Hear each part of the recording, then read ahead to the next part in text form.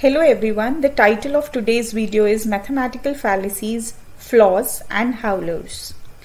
A howler in mathematics is not really easy to describe but it's a term which is used to denote an error which leads to the correct result innocently through some mathematical uh, steps which are really weird you land into the correct result. So that is something what is known as a howler in mathematics. For example, if you look at 16 by 64 you cancel the 6 above and below, you surprisingly get the correct answer, which is 1 by 4. But cancelling 6 above and below is mathematically stupid, right? So these kind of, uh, you know, techniques, these kind of steps, processes that one follows to land into the correct answer is known as a howler in mathematics.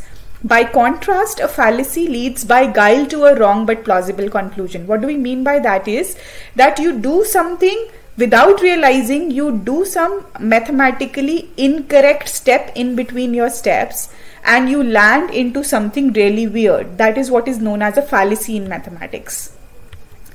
So these are arguments that look correct but are actually absurd and they can be used to illustrate some important mathematical points. So we begin with the most common fallacy which is called the division by zero fallacy. So let's begin by taking x to be 1 Let's multiply both the sides by x. We get x square equal to x. Now let's subtract. The equation can be written as x square minus x equal to 0. Now let's factorize. We can rewrite this equation as x into x minus 1 equal to 0. Now let's divide by x minus 1 to get the answer x equal to 0. This leads to the conclusion that 1 is equal to 0. Where is the error? Because we began with x equal to 1 and we finally landed into x equal to 0. Where does the error occur? We started with x equal to 1 that means x minus 1 is equal to 0 and somewhere along the lines we are dividing by x minus 1 but x is equal to 1 so that means you are dividing by 0 and we know that division by 0 is not allowed. That's the reason whenever you see the words now divide by please make sure that you check for this possible fallacy. Division by 0 leads to such fallacies and it's the most common fallacy in mathematics. Now let's look at this one. Let's see if you're able to spot the fallacy or not. Let's begin by taking two numbers a and b, their sum being 12. Now multiply both the sides by a minus b. Now you know uh, a minus b, a plus b is a famous formula. It's a square minus b square and on the right hand side you have 12a minus 12b. Right? Now let's add 36 to both the sides. Let's take a square with the minus 12a, add 36 to it. Take b square with the minus 12b and add 36 to it. What do you get? You get a minus 6 whole square is b minus 6 whole square. Which means a minus 6 is equal to b minus 6. So a is equal to b. Now since a plus b is 12 and a is equal to b, it follows that a equal to b equal to 6. Is it correct? Yes, it's one of the possibilities, but that's not the complete solution. Where did we go wrong? We are not getting the solution because there are other numbers also. There are other real numbers whose sum can be equal to 12. For example, you can have a 4 plus 8. That's also equal to 12. 9 plus 3 is also equal to 12. But why is the answer restricted to A equal to B equal to 6 here?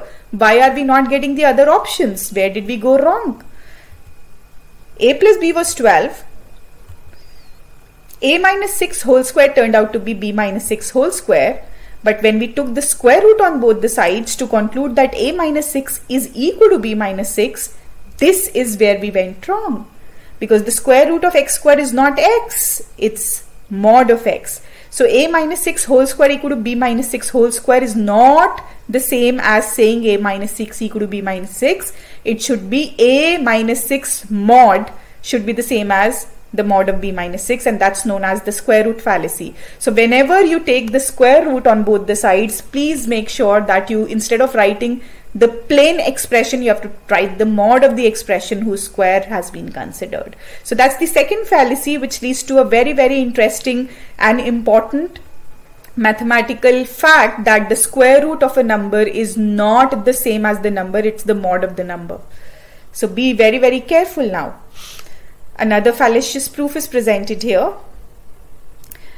We start by saying minus 1 by 1 is 1 upon minus 1 which is correct because minus 1 can be written as minus 1 upon 1 or minus 1 can be written as 1 upon minus 1. So these two are equal. Minus 1 upon 1 is the same as 1 upon minus 1. Let's take square root on both the sides. When we take square root on both the sides, we get under root of minus 1 upon 1 is the same as under root of 1 upon minus 1. Let's simplify it turns out that under root of minus 1 upon under root of 1 is the same as under root of 1 upon under root of minus 1. But everybody knows that under root of minus 1 is imaginary.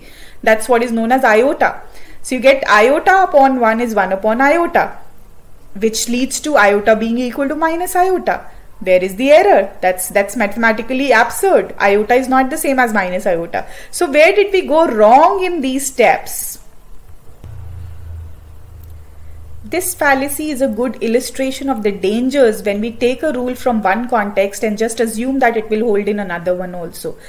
Remember, when we first learned about square roots, we had never encountered complex numbers. When we were told what under root means in primary classes, 6th, 7th, 8th, 9th, whenever it is introduced to the school students, we were never um, told what complex numbers are. So the only objects that we were dealing with were square roots of positive numbers and in that case under root of a by b happens to be equal to under root a upon under root b because for positive a and b it's always true. But here when we are applying the same thing to under root of minus 1 upon 1 and 1 upon minus 1 this minus 1 is negative. So taking that rule to this setting is leading to a weird result because that rule is valid only for positive numbers a and b. So that is a mathematical truth but in the original context only. What is the original context? When a and b are positive real numbers, then under root of a by b is the same as under root a upon under root b. If one of them happens to be negative, then the rule fails to hold, which is taught to us by this fallacy, which is called again the square root fallacy, another version of the square root fallacy. Let's look at some calculus fallacies here. Calculus fallacies are not really as common as algebraic ones, but here is a good one presented. We know 3 square is 3 plus 3 plus 3. Yeah. 3 square is 9, which can be represented as 3 plus 3 plus 3. Now 4 square is 4 plus 4 plus 4. 5 square is 5 plus 5 plus 5 plus 5 plus 5 added 5 times. So in general I can write x square to be x plus x plus x plus x where the sum has x terms. Now let's differentiate both the sides though everybody knows differentiation. So differentiating both the sides what do we get? The left hand derivative is 2x because x square derivative of x square is 2x and the derivative of each of these x's is 1. Since the right hand side is the sum of x ones so we get 2x equal to 2x. So that means 2 is equal to 1. But where is the error? How can we get 2 equal to 1? What was incorrect in these steps? Whatever was incorrect in these steps is going to teach you a very, very important mathematical lesson. x square is a sum of x's only when x is an integer. Imagine that x is a non-integer. You cannot say that x square will be the sum of x's when x is an integer. For non-integers this obviously fails to hold. Being discrete is different from being continuous. We'll have to be very very careful while generalizing it to the continuous format and then differentiating. Let's see something went wrong with the integration here now. Let j be the integral of 1 upon x. How do we integrate 1 by x? We do it by parts we take 1 by x to be 1 into 1 by x and taking the first function to be 1 by x and the second function to be 1 applying the method of integration by parts it's very easy to verify that the integral turns out to be the same as 1 plus the integral itself which leads to 0 being equal to 1 where did we go wrong here? We went wrong here because we neglected the constant of integration. This this teaches us that writing the constant of integration in indefinite integrations is not something that you can do away with. These fallacies are known as the constant of integration fallacies, and the earliest occurrence of this fallacy is believed to be in uh, J.L. Walsh 1927 publication in American Mathematical Monthly. Here is another interesting fallacy in which we prove that all people in India have the same age. Now we use the uh, principle of mathematical induction to prove that. Let's see how we do that. Suppose Sn is the statement which says that in any group of n people, everyone in that group has the same age, right? If we can show that Sn is true for every choice of n, then we are done, right? That is how principle of mathematical induction works. Now suppose there is any group that consists of just one person, because we begin like that right? We we say that uh, we'll we'll have to show that s1 is true then we'll assume it for n equal to k and then we'll prove it for n equal to k plus 1 meaning thereby that it's going to be true for every natural number. So let's see what happens for n equal to 1 if there is a group consisting just of a single person then this statement that in any group of n people everyone in that group has the same age is trivially true because the group is not having any other person at all so if there is only one person, S1 is trivially true. The next stage in the induction argument is to assume Sn to be true for say n equal to k and then prove it for the next number k plus 1. So let's assume that Sk is true. If we assume that Sk is true, that means in every group of k people, everyone has the same age. Now we have to deduce from it that every group of k plus 1 people is following the same thing. That means in any group of k plus 1 people, everyone has the same age. So let's consider G to be an arbitrary group of k plus 1 people. We just need to show that every member of this G, G, this group G has the same age. Let's pick up two members of G. Let's say P and Q are two members of G. Consider everybody in G except P what will be formed? It will be a group of k people. Let's call it as G star. By induction hypothesis, in G star, everyone will have the same age. Similarly, consider G double star to be the group which is having everybody in G except Q. Now G double star is also a group of k people. So by induction hypothesis, everyone in this group also has the same age. Now let's take R to be someone in G other than P and Q. Now look at Q and R now. Q and R are going to belong to G star. So they are of the same age. Similarly, P and R belong to G double star. So they are also of the same age. That means P and Q are of the same age. Now we have seen that considering any two people in G, they have the same age. It follows that everyone in G has the same age and hence the proof is complete by mathematical induction. So we have proved something really, really weird through the uh, principle of mathematical induction that everybody in India has the same age, which obviously is absurd. So, where did we really go wrong in this proof? The error happened at the very first step. There might not be anyone else in G other than P and Q. The argument that we applied for uh, you know proving that every group of uh, k plus 1 people has the same age there we took a person R, right? And then we compared R with P, R with Q. Now that might not be existing at all. When G is a group of K plus 1 people, as long as K is more than 1, that means K plus 1 is more than 2. And in this case, there does not exist a third person R in G. So rest of the proof will work. We are only proving through mathematical induction that if Sk is true, it implies Sk plus 1 as long as k is more than 1. In other words, you are proving that if S2 is true, that means any two people have the same age, so is S3. If S3 is true, so is S4 and so on. But nowhere have we shown that S2 is true, right? The basis step of the induction showed that S1 was true, but our induction step does not show that S1 implies S2. So that chain gets broken at the first step itself. So that's where induction flops because we did not prove that S1 implies S2, right? We implied SK implies SK plus 1 for any size which is more than 1, but we did not apply uh, this induction to k equal to 1. We did not say that S1 implies S2. So the chain gets broken there itself, and that's why it's leading to something really, really weird. It is only showing that if all pairs of people have the same age, then so does every group of three people, and so does every group of four people, and so on. But that's not something startling. It's fairly obvious if we think about it.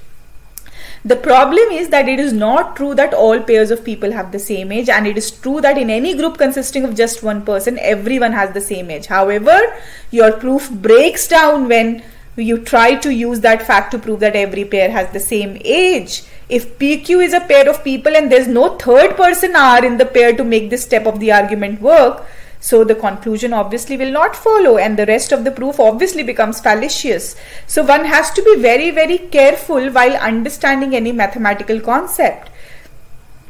So here is another interesting fallacy, infinite series fallacies.